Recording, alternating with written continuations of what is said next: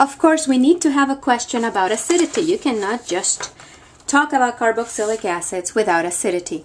Now notice again, the carboxylic acid itself is the same. The only difference is what I have attached on the other side of the benzene ring or maybe what I don't have attached on the other side of the benzene ring. But the question wants the carboxylic acid that has the lower pKa. So just as a review, the lower pKa means that they want the most acidic. And if they want the most acidic, they're talking about the hydrogen that's easiest to remove. So we're going to analyze the group that we have on the other side. Halides are halides activators or deactivators? Halides are deactivators. So basically this halide right here would be pulling electron density from the ring which will prevent this ring from donating a lot of electron density to the carbonyl.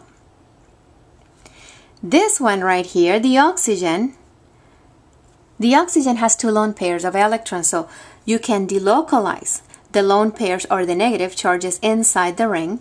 So the oxygen is going to act act as an activator. It's going to give electron density to the ring, so this ring can donate to the carbonyl.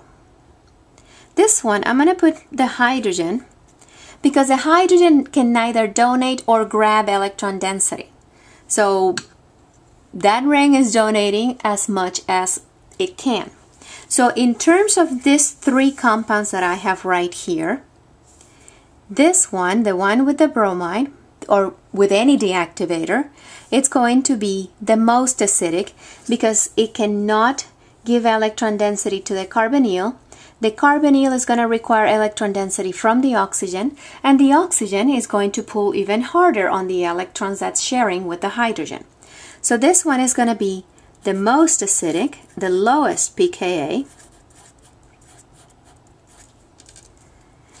The hydrogen cannot donate or take electron density away, so this one's going to be right in the middle. It's going to be less acidic than this one. But this one right here is going to be, of the three carboxylic acids that we have here, it's going to be the least acidic.